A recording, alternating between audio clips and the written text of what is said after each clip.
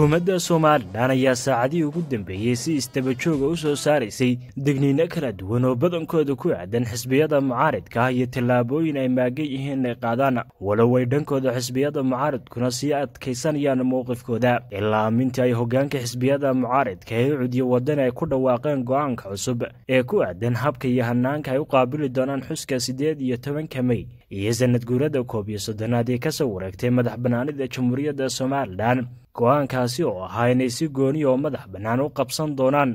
Dabaaldegyo ku aadan xuskaas waxaase soo tarayey go'aano isku lidi oo ka soo kala baxayay dhanka xukuumadda madaxweyne biixi iyo asxaabta mucaaridka. Inkastoo ishaynta mucaaridka iyo muxaafidku ay ka salballaadhan tahay xuska iyo xurmaynta siddeed iyo tobanka mey xisbiyada mucaaridka oo ku andacoonayay inay xukuumadda biixi xidhiidhka u jartay ayaa dhankooda bilaabay qabanqaabada iyo diyaargarowga xuska siddeed iyo tobanka mey oo hal maalin inaga xigto halka xukuumadduna howlaheeda qabanqaabada ay dhankeeda waddo labada dhinac ilaa hadda midna ma helin garowshiyo iyo weliba cid dhexdhexaadisa maadaamoo labada dhinacba maalin qaran qiimaynteeda ku howlan yihiin.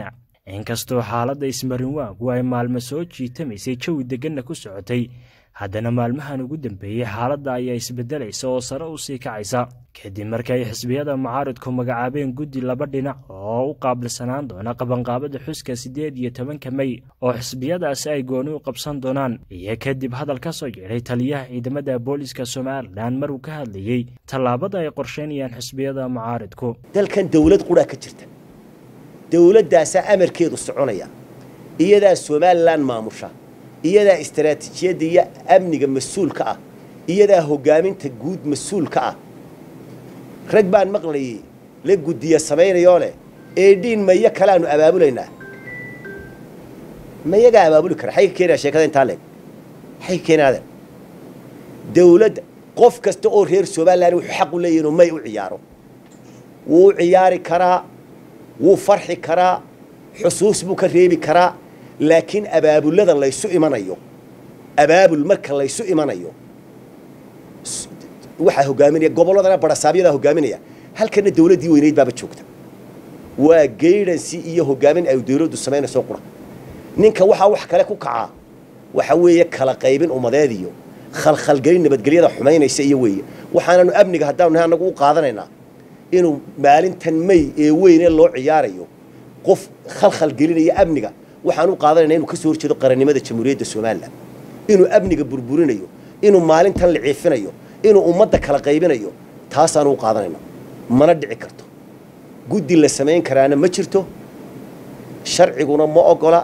Dawladda ayaa abaabulka iyo hoggaaminta siddeed iyo tobanka may iyadaa iska leh intaasi kadib dhankeeda xukuumadda somalilan gaar ahaan guddida heer qaran ee qabanqaabada xuska siddeed iyo tobanka mey ayaa soo saaray go'aano ay duldhigaan asxaabta mucaaridka iyo cid kasta oo qorsheynaysa inay si gooniya u qabsato xusas waaweyn oo ku aadan siddeed iyo tobanka mey gudaha dalka. War-saxaafadeed ka soo baxay guddidaasi oo ku seexnaa guddoomiyaha guddidaasi.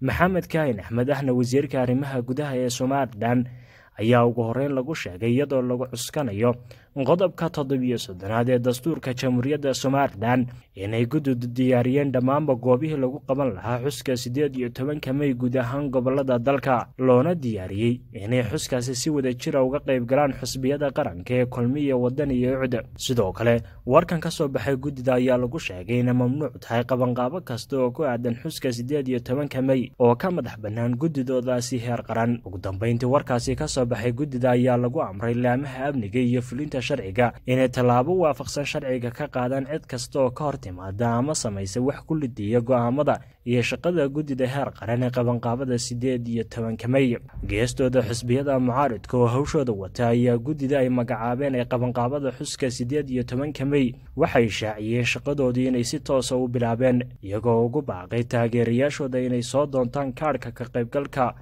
xuska ay qaban doonaan habeennimada siddeed iyo tobanka mey waxaan guddigeyga qabanqaabada habeennimada siddeed iyo tobanka mey aanu qabanaynaa xaflad ballaadhan oo aanu qabana taageerayaasheeda. Annagoo soo sheegi doono halkaan ku qaban doono. Taasoo uu noo ogol yahay dastuurka qaranku inaanu ka qayb galno oo aanu munaasibadaha qaranka qayb tayada ku xusno.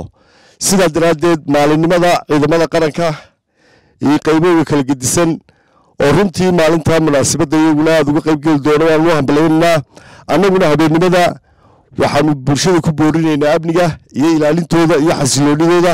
Annaguna si nabadgelya waxaanu u qabsanaynaa habeennimadeeda munaasabadda ciidda ee sideed iyo tobanka mey kaadhadhka xarunta gobollada labada xisbi ayaa laga soo doonan doonaa.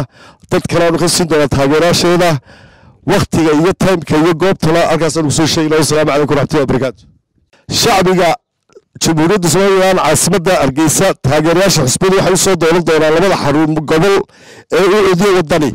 Tobanka subaxnimo halkaasoo kaadhadhka looga qaybin doono si ay munaasabadda uga soo qayb galaan. Inkasta oo muddo yari ka harsan tahay xuska maalinta qaran ee siddeed iyo tobanka mey ee dhinac kasta u xusul duuban yahay xurmayntiisa.